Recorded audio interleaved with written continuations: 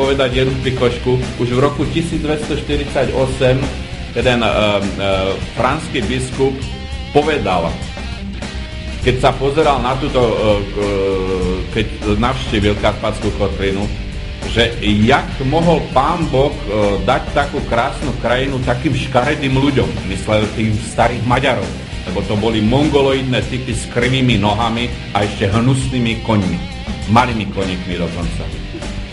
Toto povedal biskup, je to napísané, doslovne je to napísané a e, e, skutočne teraz po e, rokoch, po e, viac než 800 rokoch, tí mongoloidi už e, nejak vymizli a ja neviem, kto ich civilizoval. No asi ich civilizovala tá slovanská krv.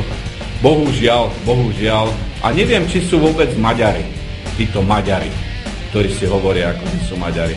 Ja si myslím, že sú e, z 90% majú slovanskú krv a len z 10% alebo možno z desatiny percenta zostalo v nich tá staromaďarská krv. Ale hlásia sa tvrdo, jak, jak blázni k Turulom a ďalším šialenstvám.